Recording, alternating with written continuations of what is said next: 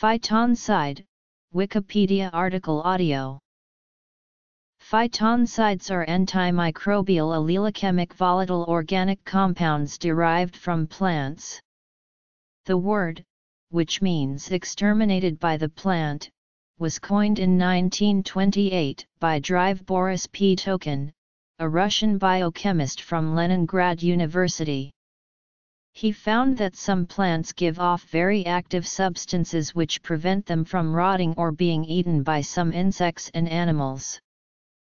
Spices, onion, garlic, tea tree, oak, cedar, locust, pine, and many other plants give off phytoncides. Oak contains a substance called greenery alcohol. Garlic contains allicin and diallyl disulfide. Sophora flavescens contains Sophora flavanone G. Pine contains alpha-pinene, carene, myrcene, and other terpenes.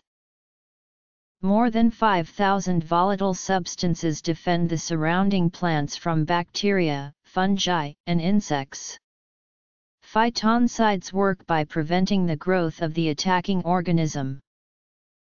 They are widely used in Russian, Ukrainian, Chinese, and Japanese medicine, including holistic medicine, aromatherapy, and veterinary medicine.